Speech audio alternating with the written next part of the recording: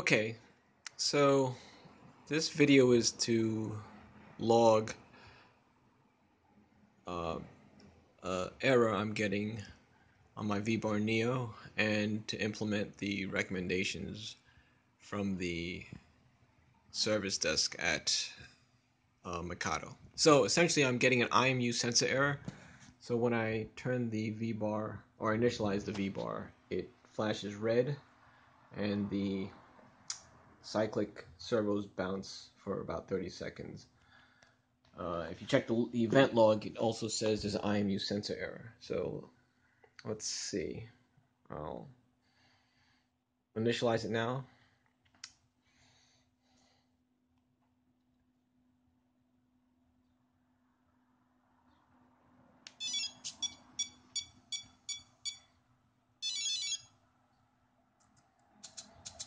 Okay, so that's what the error looks like.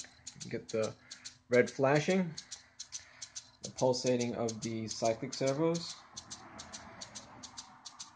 Now, the representative at Mikado suggested I downgrade to the Pro software without the rescue, as he believed that it has something to do with the rescue sensors um, getting a uh, or being affected by some type of uh, error. So I'm going to do that now. All right, so we're going to plug in the USB. I'm going to put the phone down.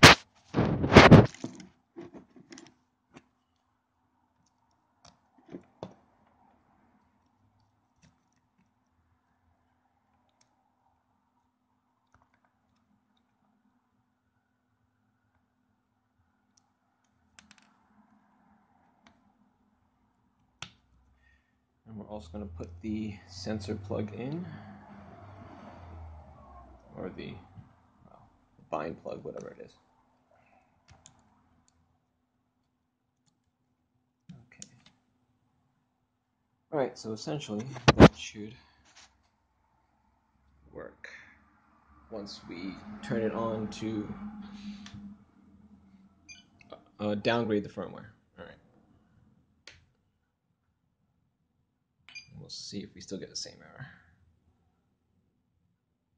Okay, so I'm to plug it in, put the phone down again.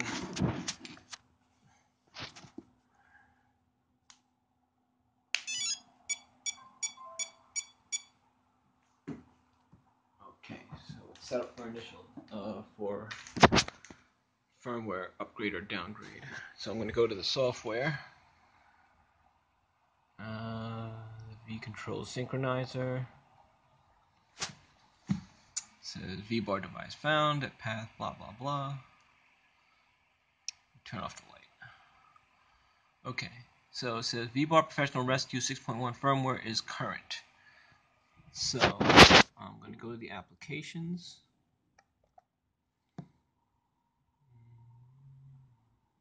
Okay, and VBar Neo. There's the Express, the Neo Extender, VBar Professional.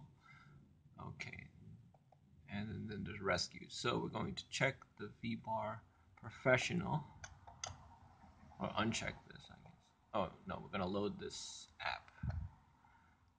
Okay, and then we're gonna update.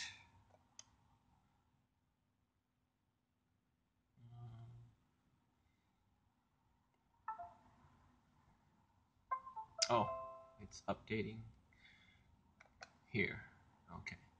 So since VBar Professional Rescue is current. Then it looked like device disconnected. It went to 6.1.242 VBAR Professional. All right, and it says current. So now we're on 6.1.242 before we were on 6.1.35 of the rescue. All right.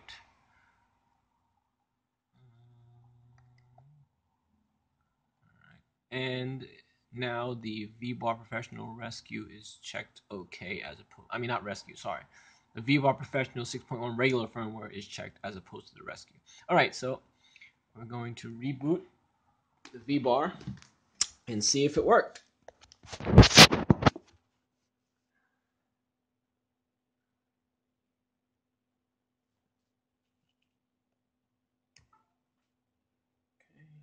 unplug the USB.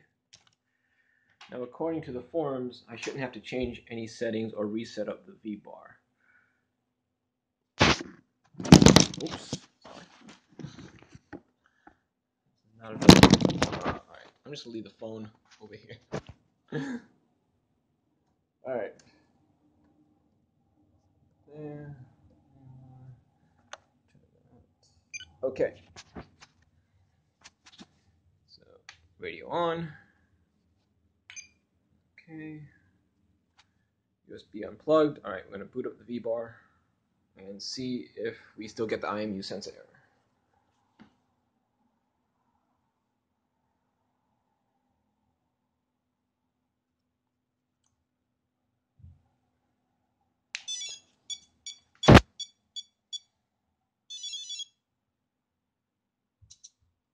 And we don't get the error. So lo and behold, he was correct. So my feeling is that it's a problem with the rescue firmware, and they'll probably be coming up with an update with it. Uh, let me actually put this on hold. Okay. and looks like everything is responding correctly. The compensation is going correctly. Okay, yeah, so I haven't flown it, but at least we're not getting the red flashing IMU sensor error. So that makes me feel good that I don't have to return the unit and I just have to wait for a firmware update of some kind. At least that's the impression I got from the Mikado representative. Okay, that ends this video. Sorry for the poor quality and um, dropping the phone.